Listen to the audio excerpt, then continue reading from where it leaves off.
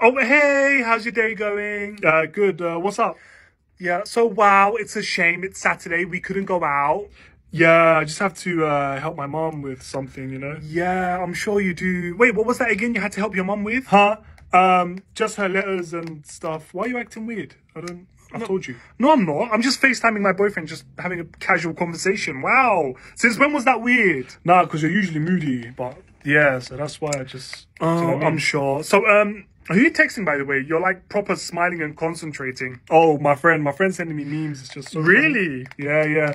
Basically, we're sending memes in our group boys chat about our friend who's looking for a job, but he has no money, but he always posts in designer clothes. But it's his brothers who has money, and it's just really mm, mm, funny. Mm. Yeah, that Yeah. sounds like a very realistic conversation you're having right now. Um, yeah, I guess. But Yeah, okay. Anyway, Who's uh, Rania, by the way? who? What? How would I know? What the hell? What is that? Then why are you messaging her, you cheater? No, I'm not. Look, what are you talking about? Stop lying! Oh my god! Like, did you hack my phone or something? How? What the hell? So you're worried I hacked. So all you have to say is, did you hack my phone? You are worried I hacked your phone! Yes, but no. I'm, I mean, I'm sad for you too. But how did you know? Like, it's so random. Oh, because you are messaging me, you inconclusive failed human! What? I am Rania, it's my fake account! Oh. Yeah, oh, yeah, I'll bust your face about. Look at all these lies. You have a business, you're romantic. Where's my romance? Where I get more uh, romance than random European guys in my DMs. I knew it was you. Oh my god, I'm playing along. You're so dumb. I knew this was you. What the hell?